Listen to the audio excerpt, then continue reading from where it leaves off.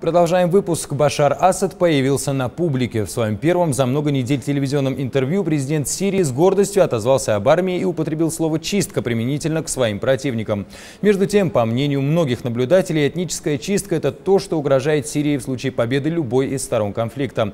За ситуацией в Арабской Республике следит Алексей Бобровников. Башар Асад чувствует себя увереннее, чем обычно. Или делает вид.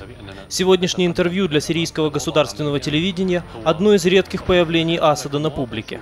С момента теракта, унесшего жизни четверых его ближайших соратников, президент еще ни разу не выглядел столь оптимистично настроенным. Асад отверг предложение по созданию буферных зон, которые позволили бы эвакуировать беженцев и раненых.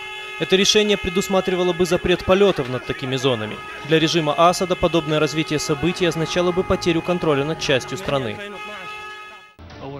Я объясню очень коротко одним предложением. Мы наступаем. Практически ситуация улучшается. Асад вот уже второй раз произносит слово «чистка».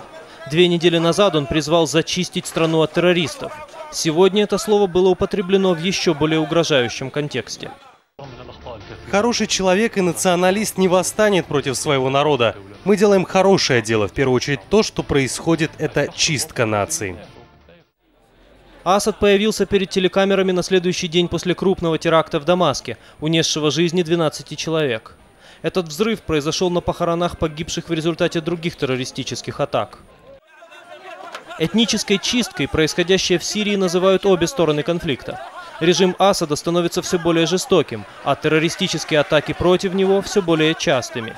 Многие наблюдатели связывают взрывы с деятельностью Аль-Каиды, подразделения которой поддерживают повстанцев. На сегодняшний день более миллиона сирийцев были вынуждены покинуть свои дома. Большинство из них при этом остаются в стране, происходящее в которой обе стороны конфликта упорно отказываются называть гражданской войной. Только в Турции ожидают увеличения числа беженцев до 200 тысяч. Это больше, чем может принять соседняя с Сирией страна.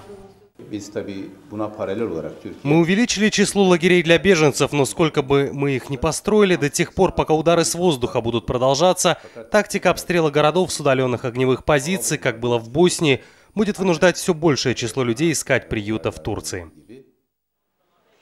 Многие обвиняют в происходящем режим Асада, но некоторые наблюдатели смотрят дальше.